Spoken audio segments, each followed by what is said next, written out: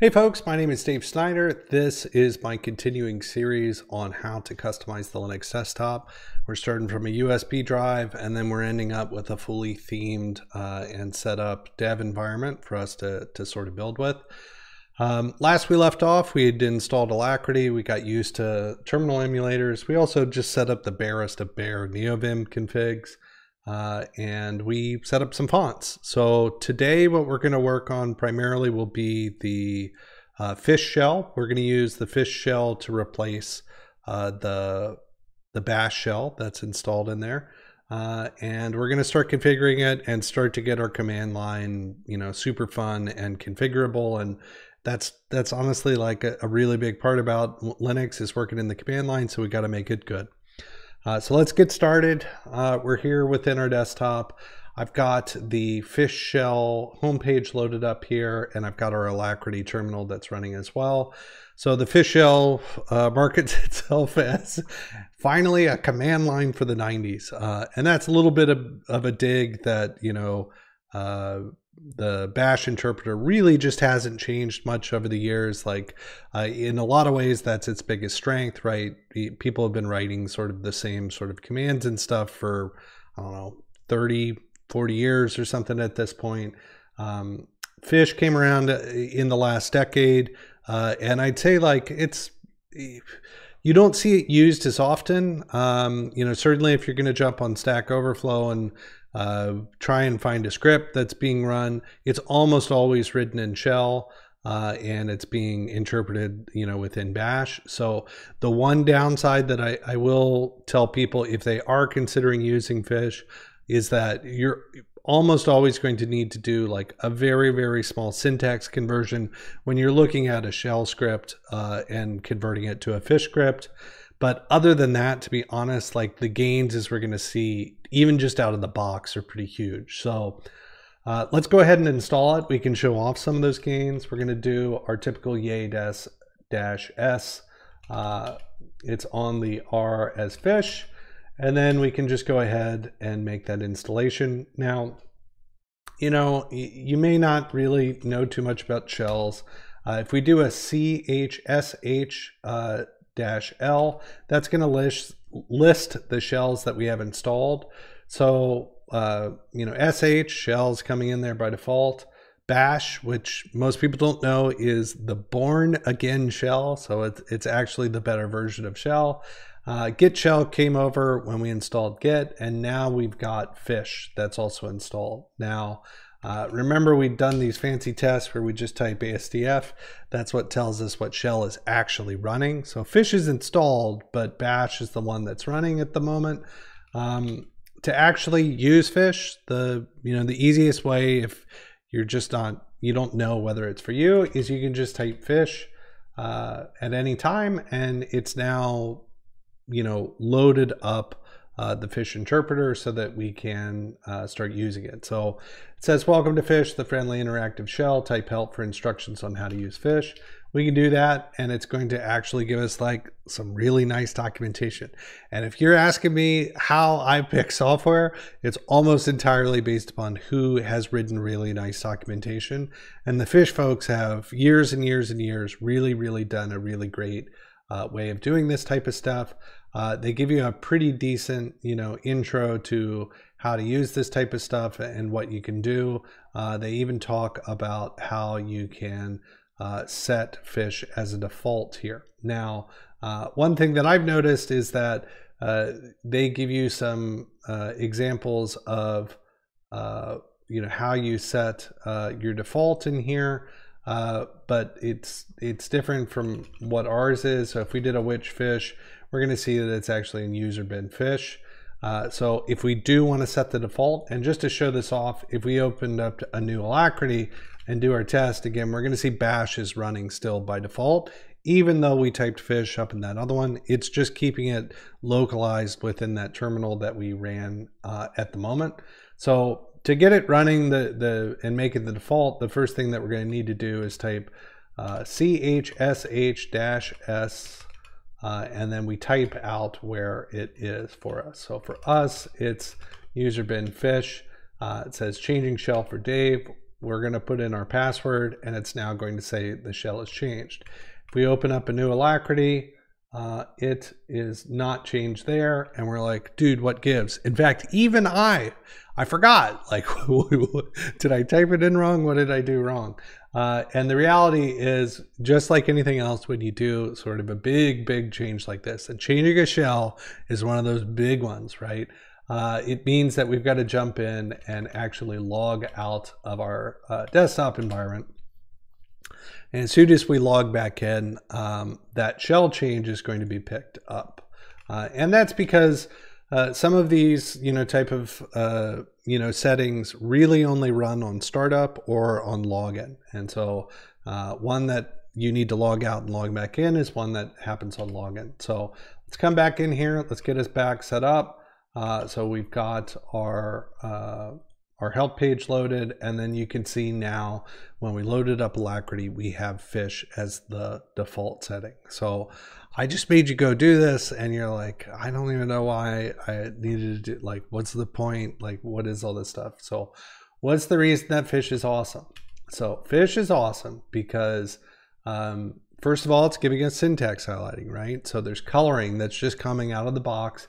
We can see our Dave at Arch uh, is actually coloring uh, the name differently than the host. Uh, and we can see uh, we're actually getting some syntax coloring here as well. Uh, a big reason though to use it is you're going to see, and you can see it right there, is that it's going to do auto completions for us and do suggestions. So as you start typing stuff, it's going to be like, well, are you looking to try and finish ls-la? Fact, fish, I am. That's exactly what I'm trying to do. Um, and it's going to be able to do that as you start typing things out. It's going to start figuring it out. So, for example, we're going to type CD and start typing D, and it's going to say desktop. And why is it doing that? Why is it not doing documents or downloads? It's doing it because desktop's the first one. So it's just making a suggestion that's in there. Uh, if we do a tab completion on here, it's going to then uh, suggest us which one of these things that we could do. Now, Bash could do that, right? Like it could give us uh, suggestions for folders or files that we might need to complete and, you know, allow us to make a selection in there. Now, what Fish can do that's really nice is it can actually start doing suggestions on um, uh, actual commands from programs. So for example, in Git, it's already, it's historically saying, look, you've already run at some point, you know, and we did, we ran this clone command in one of the earlier series where we, uh, you know, went through and installed, we cloned the Yay repository. But if we just started typing commit, right, it's going to output and finish commit for us. This is something that Bash can't do. And just to show how to get back, we can, you know, type bash in there and we're now back in bash. And if we start typing commit and hitting tab, nothing's happening, right? Uh, now we can go and do that desktop thing like we did before, and it's to start filling, you know, finishing it out for us. You'll see that when we do desktop here, it's not giving us like, we can't select right? The things to run. It's just telling us like these are the things that live there. So by default, to me, uh, that is a huge, huge, like I really can't overstate uh, how nice that is. If you're spending time in the command line, you are going to forget things almost constantly uh, and you're not going to know what commands are. And just having like a historical record of things that you've previously run is pretty huge right? Being able to see that type of stuff. Now there are a couple downsides like um, you know anything that's storing a history uh, is potentially more insecure for you, right? So seeing that type of stuff means we could go through, if you typed a password in here, it might auto-complete it or something like that. That's something me as a, a, a, person who's recording a bunch of video, like I need to be cognizant of that, right? Like uh, it could bring something like that up at any time. Now there are ways to manage and clear the history. I'm not necessarily going to show that off. It's pretty easy to do, um, but that's something to consider you know uh, these are very very nice features um, but you know you might not like that part of it so what else can we do in fish like what are what are the really good things to do and one really nice thing that you can do is just type fish underscore config and it's going to load up uh, a browser for us that's going to show us uh, ways to actually change our color scheme system. Uh, we could set these themes on here. We could come in and we could actually change the way that our prompt looks. Uh, so if we just wanted to use an arrow rather than our name, or we, we really deeply wanted to show the location, uh, or something along those lines, like we could do that here, set the prompt, and it would automatically set it within our config file. Now, I'm going to show you how to set this stuff manually because I, while these are kind of okay, I think most people really, really want to set up their own, and it's not that hard to do. Um, so we're going to look through that. The config area is also going to give you uh, the source of all the different uh, functions and variables that are set within your current shell. So this is tailored for you. It's actually running off uh, a local host, as you can see here. So when we come in here and just search for Dave, we're going to see that the fish config directory that's being run is in home dave config fish. Now, if you remember from last episode, we talked about config files and how different programs will automatically install configs or not for you. Fish is one of those ones that automatically installs it. Now, it installs it where most places do in that dot .config directory, uh, and we can start, you know, messing around and editing with that. It's also showing us uh, various different variables that are set up here, like what should the fish color of the host remote be? Well, it should be set to yellow. Okay. Like uh, a bunch of those different things kind of get set up there. And so you can see like uh, where all these different colors. And, and that makes it extremely, extremely configurable for us. So let's just take a walk into that config file and see what's there. So again, we can look into config, we can see, you know, all the stuff that's in there. There's a new folder called fish. Uh, and then within that one is a uh, config.fish file, right? So we can start editing it. Uh, by default, it, it's pretty bare. Uh, it just shows us this if statement, which says, okay, the status, if the status is interactive, you could put some commands or uh, you know some functions or something in here. And interactive mode just means the mode that you see when you're when you're typing into a terminal. This right here, this is interactive mode. We don't necessarily, uh, Fish is going to be running though at all times. Uh, and so if you want certain commands that you don't want to be running in those times and you only want an interactive mode, that you could, you know, use it to wrap it. Um, generally, I, I, don't worry too much about that. Like if I'm just setting variables, it normally doesn't matter if they're available at the system level, uh, but it, it, you've got the option that you can do it. So let's you know, write our first little config file here and just learn a little bit about how these sort of things work. Some of this stuff, if you're brand new to command prompts or something, might be useful for you in other areas. The syntax isn't going to be the same, but a lot of times they have very, very similar things. So me looking at what's loading here, I'm like, oh my God, like I don't want, I don't want to see welcome to fish, the friendly interactive shell every single time that I load up uh, a terminal so well, let's get that one changed uh, offhand. And uh, the easiest way to do that is uh, Fish exposes a bunch of different variables for you. I think they may even, do they show it here? It's probably in functions. Uh, whoops. Oh, it's because we shut it down. So let me just show it again real quick uh, so that we can see this stuff. Functions, uh, fish, greeting. And you can see uh, this is the greeting that's being output when we're looking at it here, right? Welcome to Fish, the interactive, and it's setting individual lines. And this is a great way to just kind of learn the syntax that's there. Uh, but at the end of the day, I think all that we see up here that we need to know is, okay, we type function fish greeting, and then we can put some echo statements in it. Uh, so I'm going to, you know, make the one that I've been making uh, for years and years and years, uh, which for me is like I I use my fish greeting as like a pick me up. Like I want to be excited about work, uh, so I type my fish greeting uh, to be. Uh, let's put the end on it. And then what we're going to do is you can set colors uh, to the greeting that's going to show up. So for example, uh, theirs in here. They probably have type help or something in here. Uh, and you can see they're doing a string replace uh, that's in there, but you can also just set the colors yourself. So I'm going to set the color for blue here. I'm then going to echo, uh, whoops, come in here, uh, and in uh, bio, set it to green, uh, digital. Actually, do it like this so that we remember. And then the green. Then we're going to move to magenta. So these are just our colors. Bio digital jazz. Uh, and then we're going to color it at the end. Whoops. And what is this last? What last color? What do we got left? What do we got left? We got cyan. Everybody remembers? No, no, no. Jazz.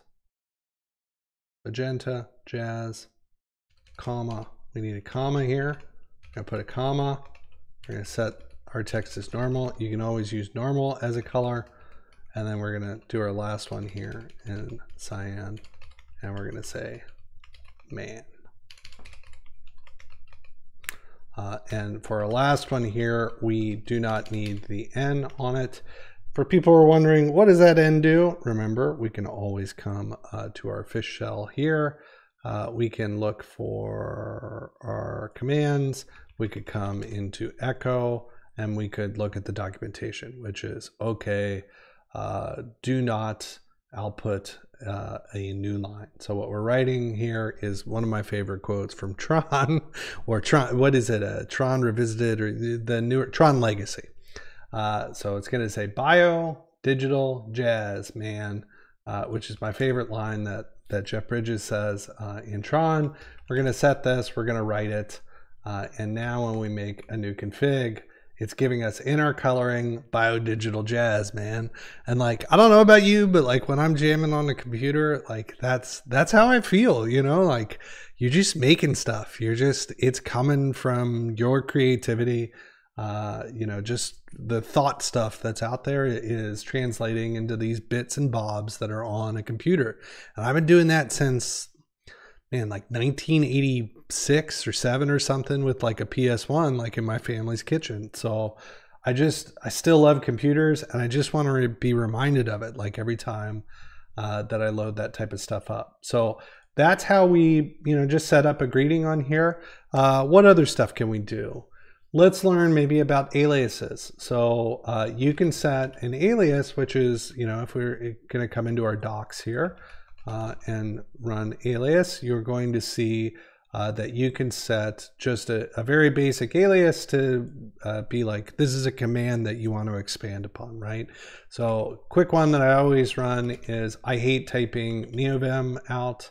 Uh, so I just like to now type uh, just V to get something. I always set up uh, a way to get to my config files very fast. So in this case, I would do a neovim dot what? Uh, well, let's make sure that we say we're within our home directory.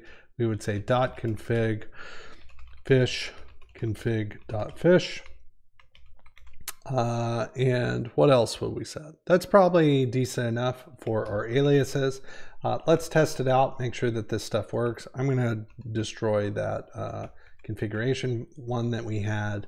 Uh, and now let's see what happens when we type fishy and it's loading up our file. So you can use aliases like this is a good way to like make yourself navigate really easy.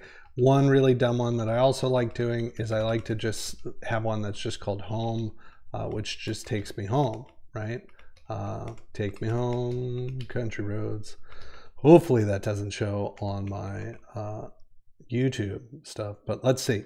Uh, home, right? Well, let's go someplace first, right? Uh, so we're in config. Uh, we want to go back to home. All right. Now, um, I talked about, you know, prompts and things like that. Um, there are a couple other things that we probably want to do before it. Uh, another thing that your uh, shell should be doing is it should be setting like some global variables.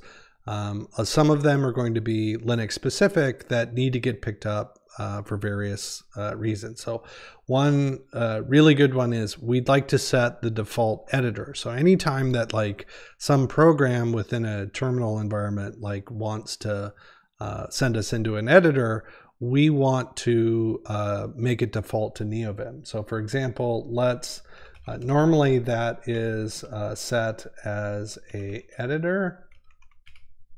And so we don't have one set at the moment.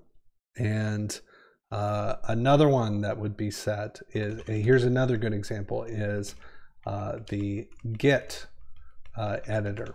And so for example, like when you're working with uh, Git files or something like that, and it's going to ask you to edit a comment or you know write a comment for a merge request, uh, you want it to open up your editor of choice, right? So these are things that we're going to need to set uh, within our uh, environment. And so to do something like that, you're going to do a set gx, so a global export. Uh, you're then going to say what you want it to be, right? And so for us, it's going to be bin uh, NeoVim. I believe that's, or is it which? Uh, sorry, which nvim, right? User bin. Uh, so uh, bin will work as well, but we'll we can put it as uh, uh, that one as well. And we want this set uh, now for git editor as well. So what that's going to mean is that when we come in here and do that echo again, right? uh, well, let's restart it, uh, we'll now have that NeoVims running. So again, you need to source your fish file uh, to be able to run it. If you ever need to just make a change, like for example, let's change this uh, to maybe Vim itself rather than NeoVim, uh, and we want to see this change, uh, right? It's still going to be set to NeoVim. What we can do is run a source, uh, and then what we want to do is source the source the file itself. So fish config dot fish. Uh, and then now when we do that git editor, you'll see that it's outputting against Vim rather than NeoVim. So if at any time like you really need to do that kind of stuff, there are ways that you can automate it uh, to do a lot of that kind of stuff. But it's just something that's there. So this gives us a way to set, you know, basic variables and things like that. Um, one thing that we did want to do and, and that we talked about uh, setting up though was let's set up a, a prompt. And I'm just going to copy one here and I'll explain it. It's a little easier uh, than me um, than me, uh, you know, just writing it out by hand. So I've got one here on my other screen. Uh, and we are just going to set uh, the fish prompt and this is involved in setting up a bunch of different variables so I don't know why I keep closing that fish config because it tends to be useful to show these types of things but let's look for git prompt uh, which is not set in here because we actually need to set it uh, but fish prompt uh, which is a you can see the various prompts that are set in here, a fish git prompt, right? Uh, so these functions are all kind of set. They're in there by default. And so all that we're doing is kind of coming through and we're overwriting these things with values that we think are important. So for example, I'm setting, uh, should we show the dirty state? Should we show, um, you know, uh, that uh, something's upstream or what color should the branch color be?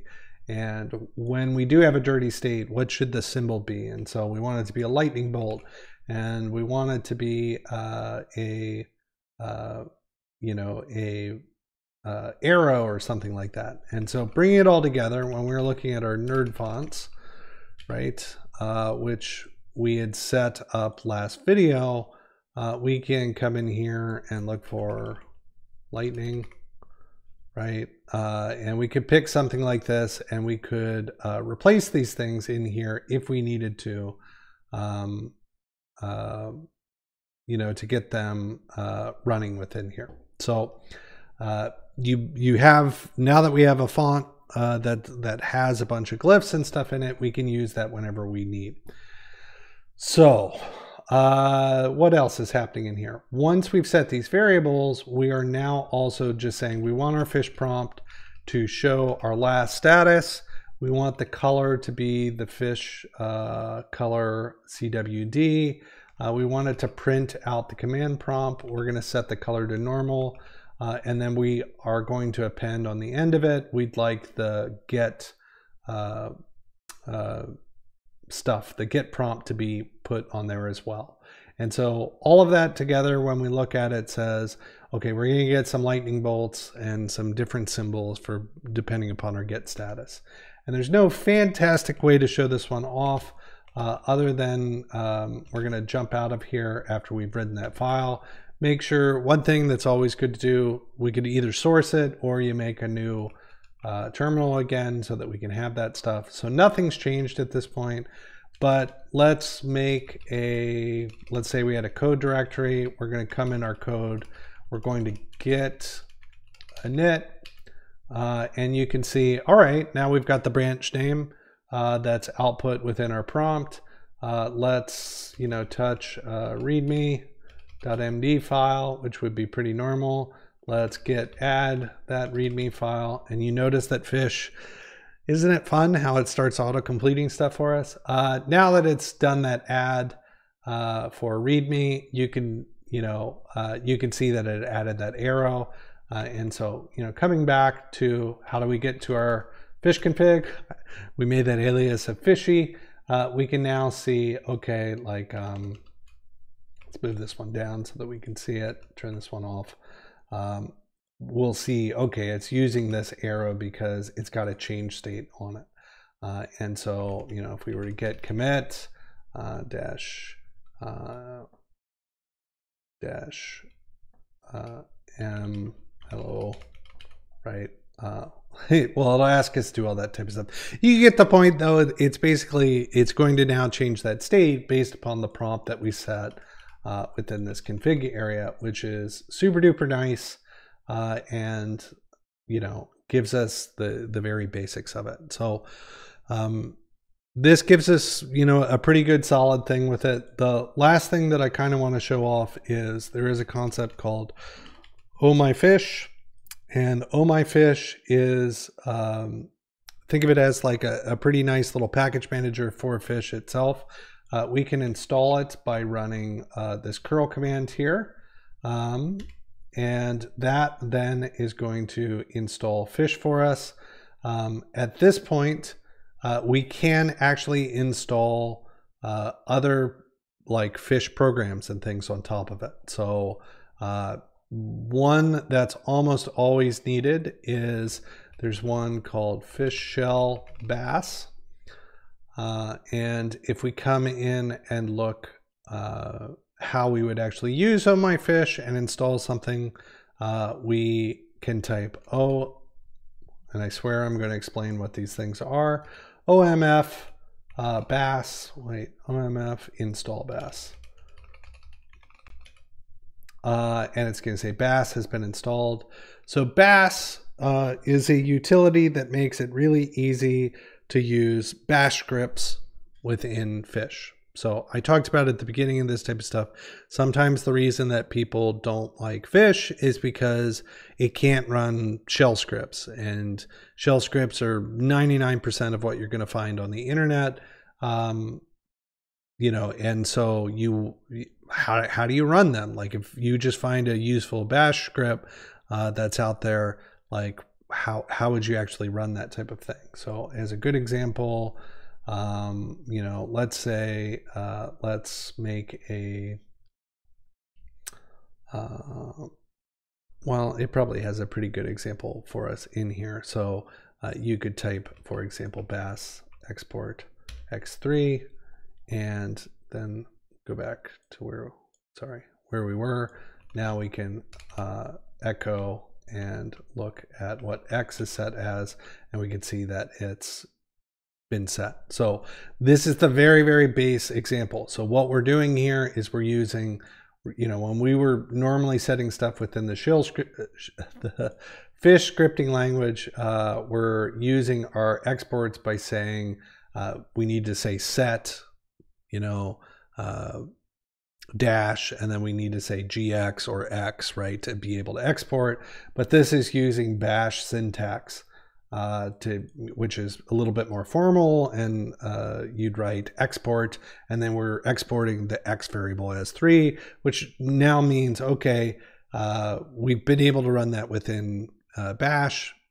That now is being uh, that is now being interpreted within Fish. So what this means is that uh, where I tend to use, and their example is exactly here, is uh, if you're working in TypeScript or you're working in JavaScript and you're using NVM, which is the node, uh, you know, ecosystem, you know, to set your uh, virtual environments for your node environment types of things.